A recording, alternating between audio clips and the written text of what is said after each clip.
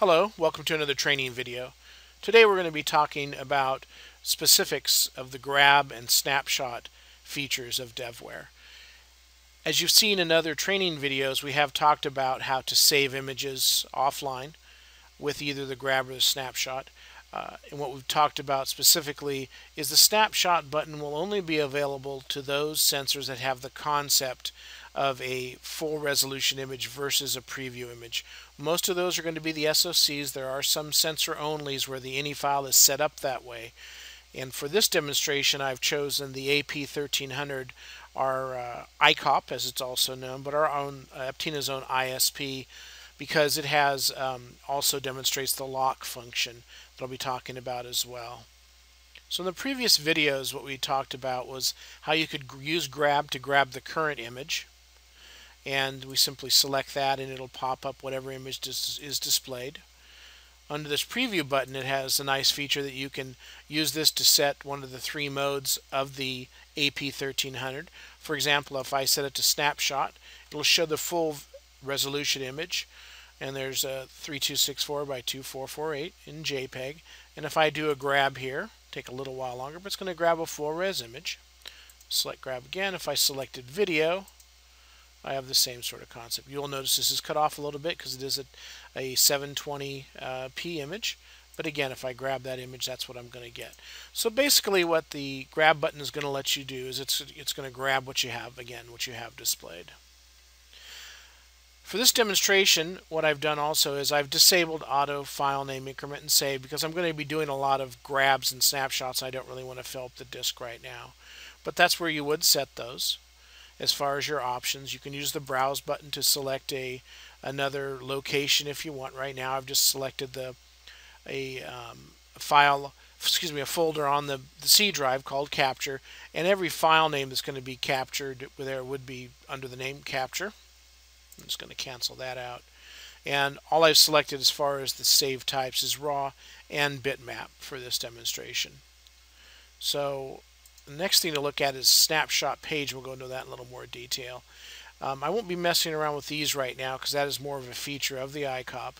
But the things that we're going to uh, focus a little more on the total number of frames you want to capture if you want to average into one frame as well, which we'll play around with a little bit. Um, and uh, what most people will do is they'll go ahead and change this total frames to some other number. I'm going to select 10 here because I'm going to be demonstrating some of the features of the of the snapshot button it, itself, and I want to get a little better, um, a little show there of exactly what uh, what's going on. So we'll set that to 10. Now at this point, if I did do a, uh, a snapshot, this is full res now, it's going to count up to 10. It's going to go through. It's just going to take a while because those are large images. And this is the film strip. Nice little select here. You can go through and select those. Uh, there's that last one of 10 of 10.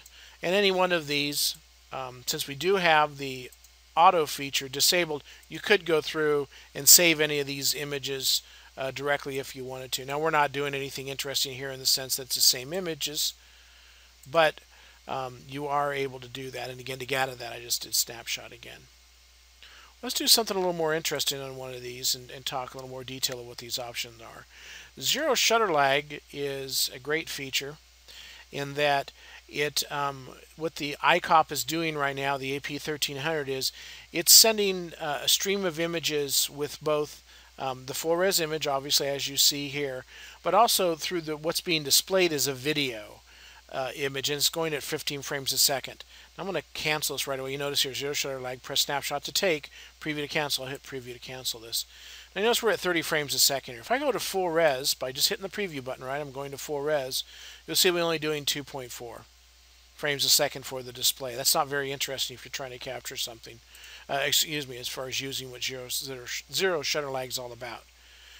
Now, again, what zero shutter lag is doing for you is it's doing a displaying a video. This is also kind of known in other uh, features as best pick. Now, since we've selected 10 snapshots to be used, I'm let's say for example, and the, the example, the um, use case of this is let's say that you're trying to your son or daughter is about ready to score a goal, on the soccer field, you're not sure exactly when they're going to be able to take uh, that shot, but you know it's getting close. So what you can do is you can enable this zero shutter lag best pick, select it to 10 images, and then when you hit the, the capture button, it is going to take, in this case, it's going to take the total number of frames, divide that by two, and keep the the five frames before you selected the capture button and then five frames after that. And so what that allows you to do is get a nice little window, if you will, of those 10 images, and then you can go through and select which ones you which one you really wanted. Now for this demonstration, I'm going to do something kind of hokey. I'm just going to go ahead and I'm going to be moving the camera around a little bit. But it's the same sort of idea. So I'm moving this back and forth here. And now if I do snapshot here with this again with the zero shutter lag, since it's doing that video, it's in capturing these 10 frames, it's going to go ahead and you see um, not much movement, but a little bit of movement here as far as what the image is, image is doing. And here you can just tell kind of by the edge. But that's the idea behind that is to let you select one of the whatever you consider to be the best image. And also the zero shutter lag, you don't have the um, the regular shutter lag between a normal snapshot. What I mean by normal snapshot is let's just go ahead and set this back to one. Now if I do a snapshot, right now we're in preview, right? We're going 30 frames a second. If I hit snapshot, it has to switch to full resolution and then grab that frame. There is a little bit of shutter lag. A lot? No, not a lot, but enough. And that's what zero shutter lag gets you. Basically what DevWare is doing here, and that you can't see, is it has a circular buffer that it actually is storing um, all these images that are going through. And again, if I you know if I set this even to 20 or 30, it would capture all those. But in that buffer, that's what it's doing. That zero shutter lag. It's giving you 10 frames of buffer internally to be able to when you select snapshot, it knows exactly which one of those within that 10 that you click you click the button on. I could even I could do this for one if I wanted to and it would go off and save that one image for me. And again, that again, zero shutter, like the concept behind that, very, very quick as far as what that does. Now another app, excuse me, option we have is snapshot over video. Now what this does is it's set it to video mode, so we're at 15 frames a second. Notice that was also what we had 15 frames a second for zero, zero shutter lag.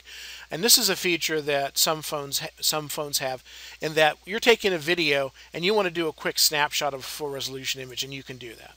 And what it does in our case is it takes and opens this up into Aptina Viewer. But that's the concept there. If you're taking a video and you wanted to do an immediate snapshot of something, uh, you could do that. And here, this is a full res image. Let's go ahead and close that.